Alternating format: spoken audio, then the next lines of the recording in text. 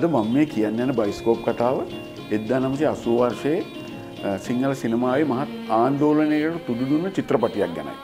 එද්දා නමසේ අසුව දසකයේ ශ්‍රී ලාංකයේ තරුණ පෙළට මහත් ආශ්වාදයක් ගෙනදුණු චිත්‍රපටයක් විදිහට තමයි සිනමා විචාරකයෝ සහ රසිකයෝ මේක හඳුන්වලා තියෙන්නේ. මේ චිත්‍රපටිය තමයි ධර්මසිරි බණ්ඩාරනායක මහත්මයා අධ්‍යක්ෂණය කරපු හංස විලක් චිත්‍රපටිය. මං සමන්තිගේ අයියා ජයනන්ද මට අමතක නෑ. මං හිතුවා මතක නැතුව ඇති කියලා. හංස විලක් චිත්‍රපටිය නව සංරක්ෂිත පිටපටක් විදිහට දැන් 2K තාක්ෂණය ඔස්සේ පැහැදිලි දසුන් සහිතව ශ්‍රී ලාංකික ප්‍රේක්ෂකයන්ට නරඹන්න පුළුවන්. ජාතික චිත්‍රපට සංස්ථාව තමයි මේ මහවු කාර්යයට උරදීලා නැවතවරක් සංරක්ෂිත පිටපත ප්‍රේක්ෂකයන්ට මුදා හැරලා තියෙන්නේ. ඉතින් අපි ආරාධනා කරනවා සීලෝම් ප්‍රේක්ෂකයන්ට හංස විලක් චිත්‍රපටියේ නව පිටපත ඇවිල්ලා නරඹන්න කියලා. සැරේ පියාවිදා සූදු සයනී සිනිදු ඇතිරිල්ලෙන්. පලා ඇවිත් සිතුම් සියොතුන්. සුමුදු සයනී සිනිදු ඇතිරිල්ලෙන්. ඉතින් බයිස්කෝප් කතාවට යම් යම් තොරතුරු ටිකක් මට ප්‍රකාශ කරා සරසව්‍ය පත්‍රයේ ප්‍රධාන කර්තෘ අරුණ ගුණරත්න මහත්මයාත් ආචාර්ය නුවන් නයනජිත් මහත්මයාත්. ඉතින් මම පළමුවෙන්ම මේ දෙපළට ස්තුතිවන්ත වෙනවා මට තොරතුරු සැපීම සම්බන්ධව. තමන්ගේ දරුවෝ අමතක වෙච්ච මිනිහට ලෝකෙ මිනිස්සු මතක හිටියේ. තම්සලාට ඉතින් හැට කන්ට පේන ගෑනු විතරයිනේ මතක හිටින්නේ. රේකාව අහස් ගව්ව පාරදිගේ වැනි විශිෂ්ට නිර්මාණවලට පස්සේ ධර්මසිරි බණ්ඩාරනායක තුන්වන විප්ලවය විදිහට තමයි සිනමා විචාරකයෝ හඳුන්වලා තියෙන්නේ. තම්සලාගෙන් ගින්දර ගන්න එකත් මහ භයානක වැඩක් අයිසේ. ඉතින් මේ ලස්සන තිරපිටපත ධර්මසිරි මහත්මයා සකස් කරලා පළමුවෙන්ම පෙන්වලා තියෙන්නේ සුගතපාද සිල්වා මහත්මයාට. ඉතින් එයා මේක කියවල බලලා කියලා තිනවා මේක ඊටාම උසස් නිර්මාණයක් ධර්මසිරි. ඉතින් මේ චිත්‍රපටිය නිර්මාණය කරන්න ලෙස්ටර් ජේම්ස් පීරිස් මහත්මයාට දෙන්න කියලා. මං හිතන්නේ එයා හිතලා නැහැ ධර්මසිරි මහත්මයා අධ්‍යක්ෂණය කරයි කියලා. එයා කියලා තින්නේ ලෙස්ටර් මහත්මයාට මේ චිත්‍රපටිය නිර්මාණය කරන්න දෙන්න කියලා. සුමුදු සයනී සිනිදු ඇතිරිල්ලෙන්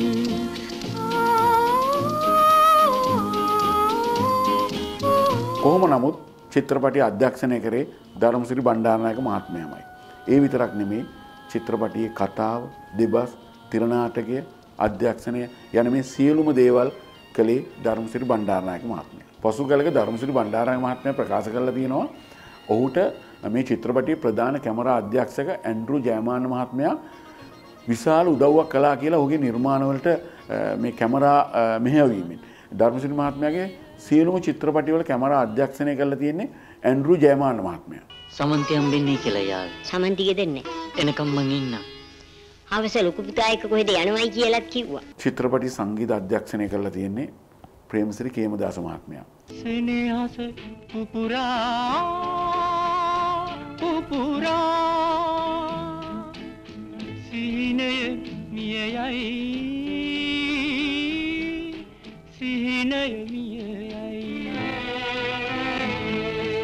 කොච්චර අපූරුවට මේ චිත්‍රපටියේ සංගීත අධ්‍යක්ෂණය කරලා තියෙනවද කියලා චිත්‍රපටයේ නරඹනකොට තේරෙයි. ඒ තරම් උසස් විදියට සංගීතය නිර්මාණය කරලා තියෙනවා. සඳුන් සිහින මණ්ඩපයේ ප්‍රාර්ථනා පියාසලයි ප්‍රාර්ථනා පියාසලයි මේ චිත්‍රපටියට මිරු ගීත තුනක් ඇතුළත් වෙලා තියෙනවා. ටීඑම් ජයරත්න මහත්මයාත් සුනිල අබේසේකර මහත්මියත් ගායනා කරන හිමින් සැරේ පියාවිදා සුමුදු සයනේ සිනිදු ඇතිරිල්ලෙන් ගීතය අදටත් ඉතාම ජනප්‍රියයි. සුමුදු සයනී සිනිදු ඇතිරිල්ලෙන් පලා ඇවිත් සිතුම් සියොතුන් මේ මියුර් ගීතය ලියලා තියෙන්නේ ධර්මසේන පතිරාජ මහත්මයා. හංසවිලක් චිත්‍රපටිය සම්භාව්‍ය පස්වෙනි මණ්ඩලයේ තමයි තිරගත වෙලා තියෙන්නේ. මිනී මරුවෙක් වෙන්නත් පාරමිතා පුරන්න ඕන ඇති. මං හිතන්නේ මිරන්ඩා මම මේ පුරන්නෙත් එහෙම පාරමිතාවක් වෙන්න ඇති. 1979 අප්‍රේල් මාසේ තිරගත වුණා වසන්ත ඔබේසේකර මහත්මයා අධ්‍යක්ෂණය කරපු පළඟැටියෝ චිත්‍රපටිය. මේ චිත්‍රපටයේ ප්‍රධාන තරුණ නළුව තමයි ධර්මසිරි බණ්ඩාරනායක. ඉතින් එදදා නමසේ අසුවේ තිබුණා එදදා නමසේ හැත්තනමේ වර්සයේ තිරගත වෙච්ච චිත්‍රපටි අලලා ජනාධිපති සම්මානුවරයක්. ඒ සම්මානුවලේ හොඳම අධ්‍යක්ෂණයට හම්බුණා පළඟටියෝ චිත්‍රපටියට වසන්ත ඔබේසේකර මහත්මයට සම්මානය. ඊට අමතරව කුසලතා පදක්කමක් හම්බුණා රඟපෑම වෙනුවෙන් ධර්මසිරි බණ්ඩාරනායක මහත්මයට. ජිනදාස මොන චිනිදහසද? ජිනදාස් පෙර්ර අර නිර්මල මොන නිර්මලද? නිර්මල වීරසිංහ ඒ වර්ෂයේ දක්ෂතම නවලුවාට හිමි සම්මානය දිනාගෙන තියෙන්නේ සරුංගලේ චිත්‍රපටියට ගාමිණී ෆොන්සේක මහත්මයා. ඔයා යන්නේ වැරදි ගමනක් නිසංක. ඒ හින්දා මට ඔයාට දන්නවන්න බෑ. මං ඔයාට නොවැන්දට නිසංක. ඔයාගේ දරු දෙන්නට මං හැමදාම ඔයාට වඳින්න කියා දෙනවා. ඉතින් එදා මේ ජනාධිපති සම්මානවලට කුමන හෝ හේතුවක් නිසා වසන්ත ඔබේසේකර මහත්තයාට යන්න බැරි වෙලා තියෙනවා. ඉතින් සම්මාන දෙකම අරගෙන තියෙන්නේ ධර්මසිරි බණ්ඩාරනායක මහත්මයා. මෙයා සම්මාන දෙක අරගෙන ගිහිලා තියෙනවා වසන්ත ඔබේසේකර මහත්මයා හම්බ වෙන්න. ඉතින් හම්බ වෙන්න ගියාට පස්සේ විස්තර කතා කරනකොට කියලා තියෙනවා කොහොම හරි මොකක් හෝ විවේචනයක් ගිහිලා තියෙනවා ධර්මසිරි බණ්ඩාරනායක මහත්මයාගේ රංගපෑම ගැන. ඉතින් ඊට පස්සේ මෙයා රංගපෑමට වැඩිය හිත යොමු කරලා තියෙන්නේ චිත්‍රපට අධ්‍යක්ෂණයට. ඊට පස්සේ තමයි ඔහුගෙන් ඊටාම විශිෂ්ට ගණයේ නිර්මාණ රැසක් ලංකාවට බිහි වුණේ.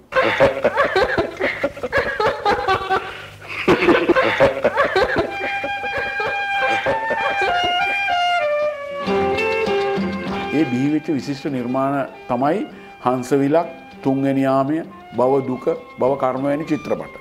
ඉතින් ඔහුගේ විශිෂ්ට අධ්‍යක්ෂණය ඒ චිත්‍රපටි වලින් මනාව පිළිබිඹ වෙනවා. මහත්මයාගේ මූණ දුටු ගම මට තේරුම් ගියා මහත්මයා යම් කිසි දුක් කනසලකින් පසු වුණා වගේ. කිසියම් චිත්ත පීඩාවකින් පසු වුණා වගේ. ඉතින් මොකද පසුගිය දිනක මෙම නව සංරක්ෂිත පිටපත මට නරඹන්න හැකියාව ලැබුණා. මගේ වාසනාවකටද කොහෙද ධර්මසිරි බණ්ඩාරනායක මහත්මයාත් මට එහිදී හම්බුණා. මේ එහිදී ඔහු ඔහුගේ හංස විලක් චිත්‍රපටය ගැන ඔහු දක්වපු අදහස් කීපයක්.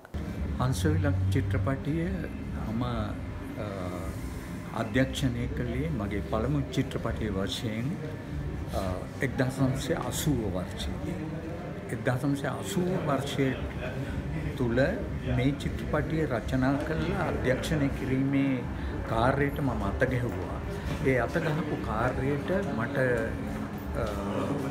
සම්බන්ධ වුණේ චිත්‍රපටියේ අර්ථපතිය වශයෙන් චිත්‍රපටියට වියදම් කළේ ඇල්බර්ට් ජයසිංහ මහත්මයා මතුකම.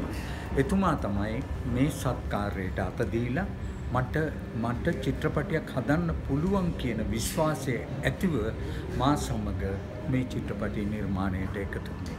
ඒකේ පිහිටෙන් තමයි මම ඇත්ත වශයෙන්ම ලාංකීය චිත්‍රපටි කලාවට චිත්‍රපටියක් නිෂ්පාදනය කරන්න කල්පනා කළේ. ඒ කල්පනා කරපු චිත්‍රපටිය තමයි අද අවුරුදු 40 ගණනකට පසු මේ ප්‍රේක්ෂකාගාරයක් ඉදිරියේදී රඟ දැක්වෙන්නේ. ඇන්ඩ්‍රූ ජයමාන්න මගේ චිත්‍රපටියේ කැමරා ශිල්පියා.